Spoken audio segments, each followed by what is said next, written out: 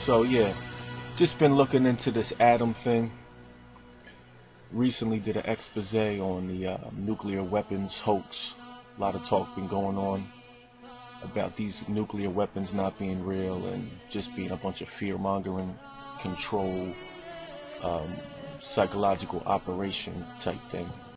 I guess nuclear weapons are pretty scary, so fear mongering might be an accurate description, but I doubt they would be as scary if people couldn't see how much damage they can cause. Maybe we should ask 1945 Japan. Ah, right, probably not appropriate. Hi, I'm R. And I'm Jay. And in this video, we're going to listen to World Wise talk about his proof that atoms aren't real. No, seriously, that, that's what we're doing. Enjoy.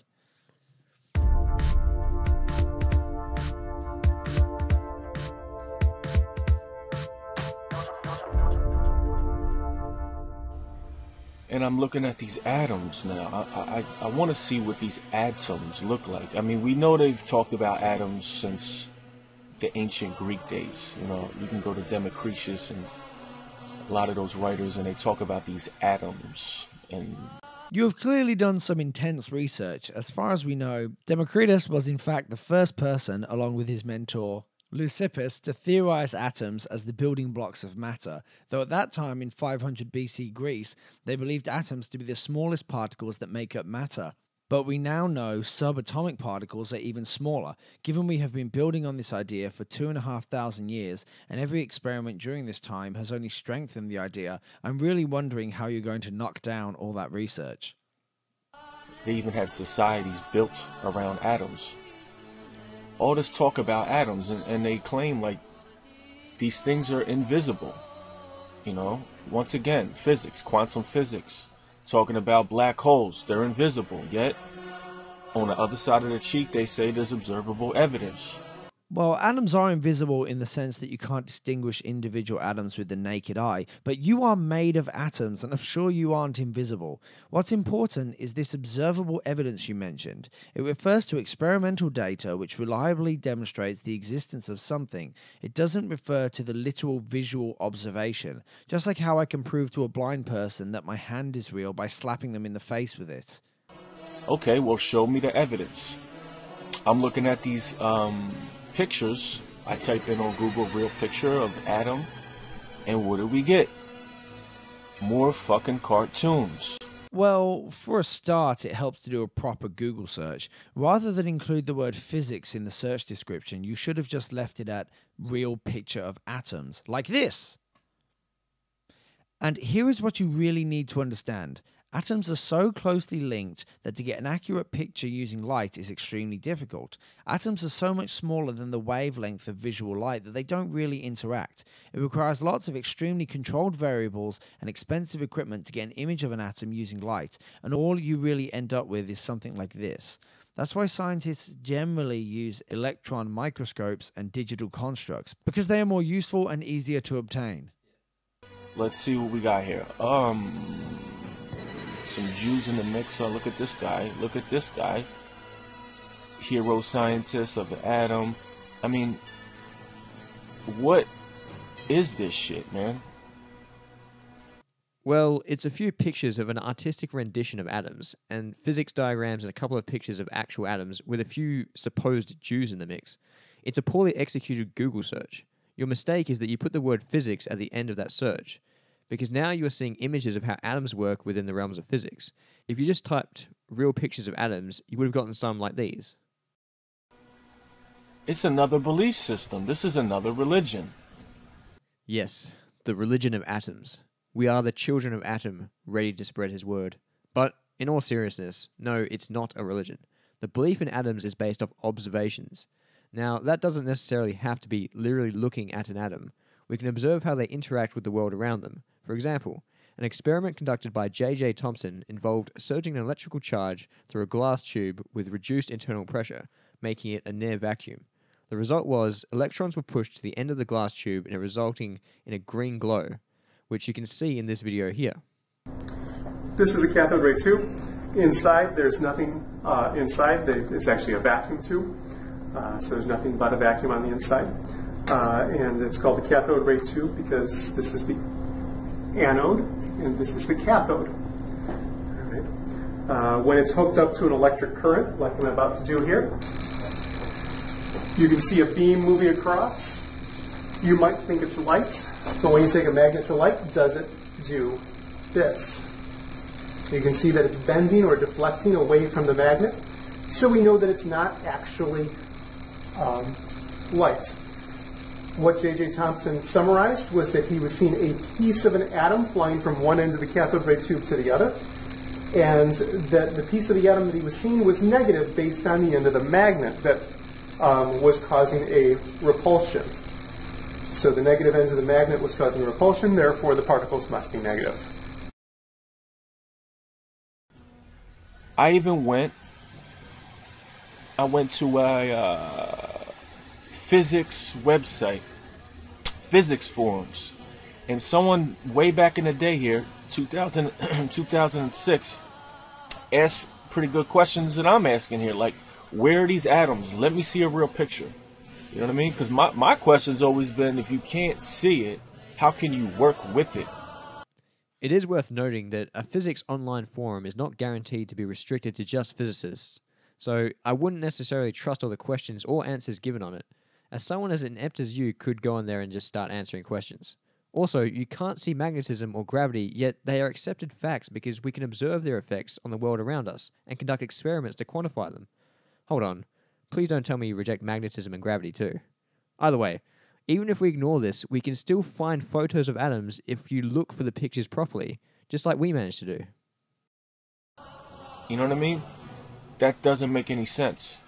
It's like if I if I can't see a black hole, how can I measure it 300 trillion miles or whatever light years? You know what I'm saying? Well, that's fairly easy to explain. In the case of black holes, we can measure the effects of their gravity on neighboring objects. For instance, black holes pull in gas and debris, which orbits the black hole with tremendous speed and force, causing it to heat up and emit X rays. We can then detect the X rays. We can also measure the orbit of stars and locate the center point of their orbit, which can be an indicator for black holes. And we can even use the influence black holes have on light to detect obscurities in starlight.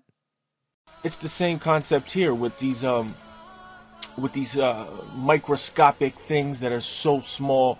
We need particle accelerators to be able to zoom in and work with them. And Well, I guess you're half right. Particle accelerators don't zoom in on anything, but they do work with very small particles.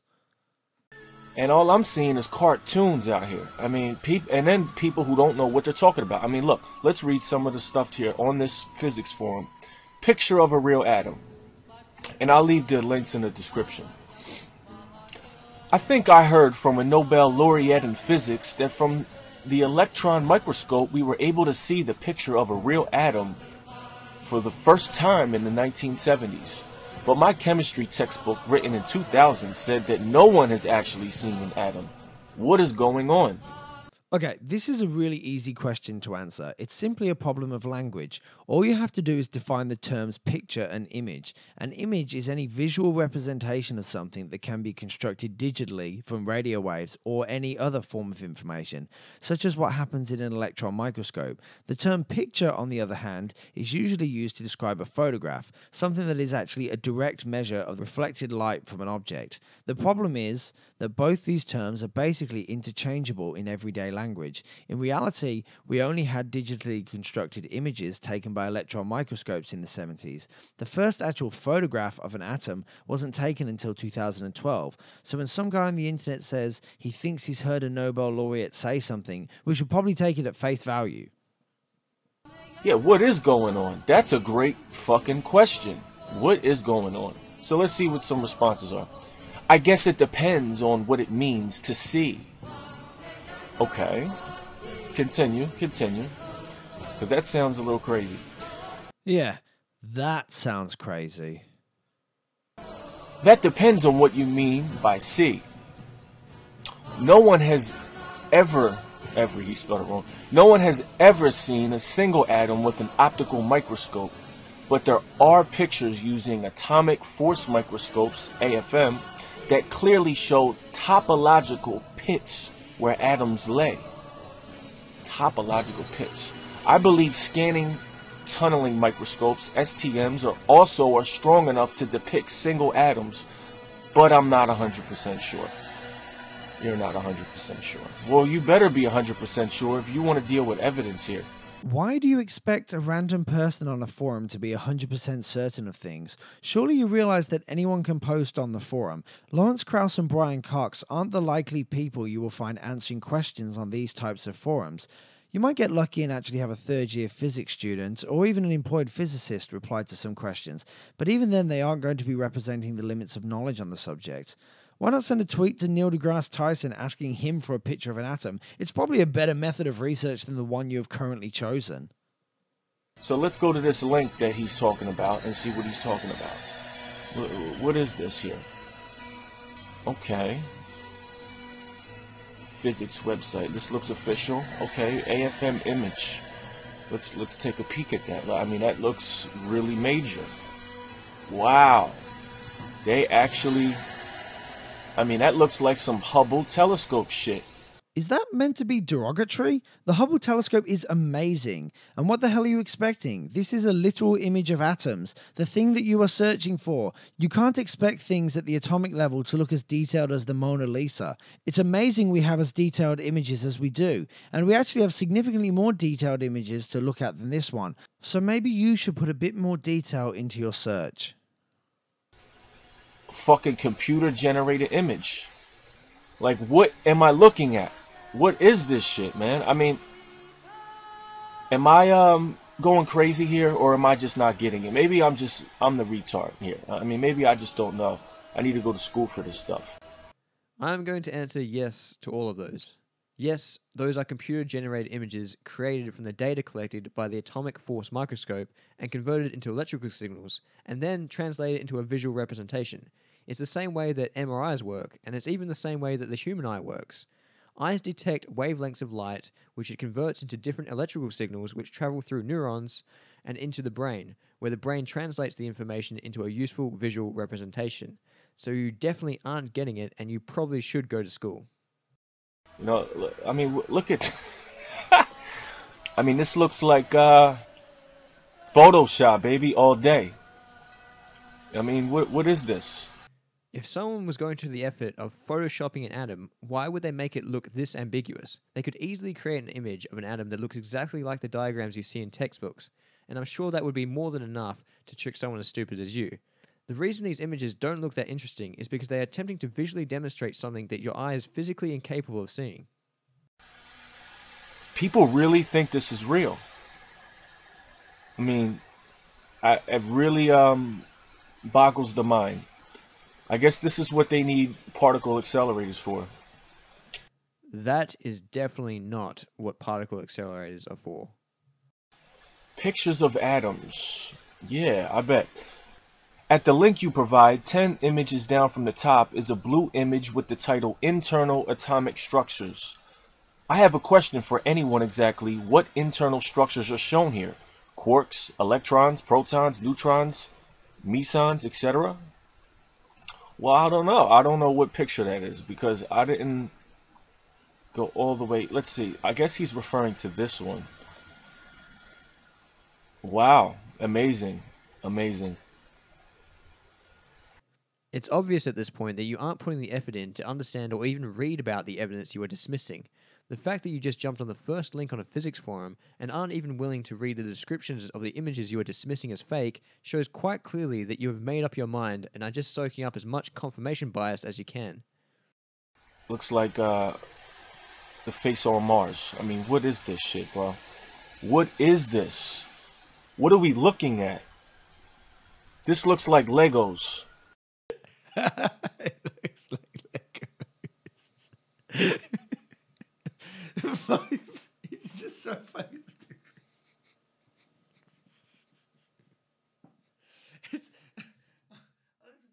I'm serious. I mean, all right. Let's go back to the physics forum. Why why are you sticking to this physics forum? You clearly aren't taking the response seriously. Maybe try reading a science article or watching a lecture. Get some different sources of information. Maybe email a physicist and actually get someone to explain it to you. And while you are doing all of that, you have to think about how any of that would be possible without the existence of atoms. Because if you're going to deny the existence of atoms, you may want to put up an alternative theory which explains electricity and the chemistry which makes your computer function.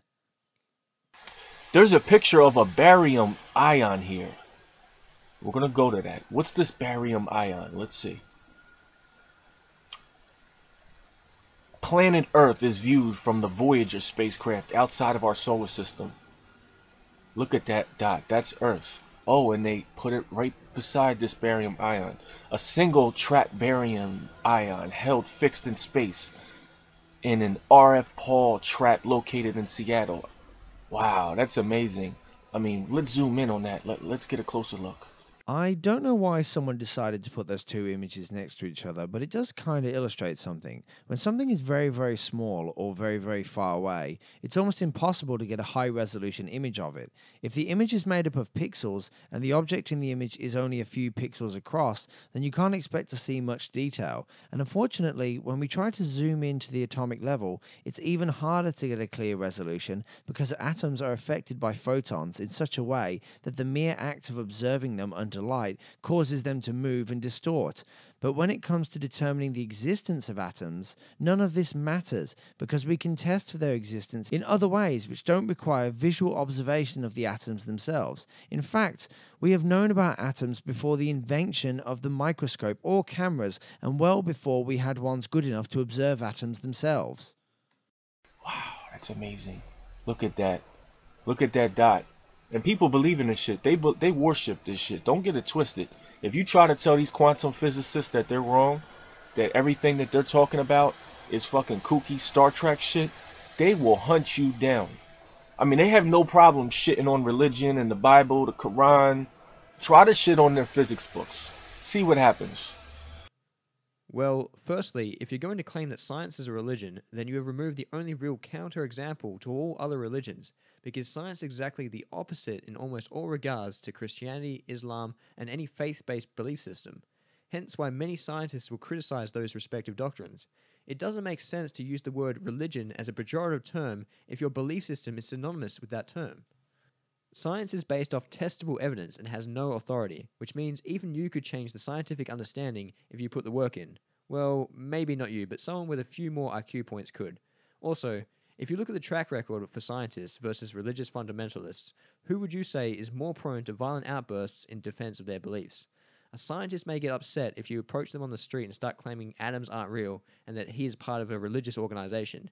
But that is to be expected when you insult someone's intelligence without valid argument. I think this is a good place to end the video, since he pretty much just continues to demonstrate a perfect example of the Dunning-Kruger effect. He dismisses everyone's statements in the forum, and only stops to highlight statements people make about their uncertainty in regards to the images and their own understanding of physics. He dismisses language he doesn't understand as being false with no attempt at further investigation, and even declares that general observation of reality is proof enough of God, abandoning his previous requirement of extremely clear picture evidence to believing in something. Feel free to click the link in the description if you want to watch the rest of the video.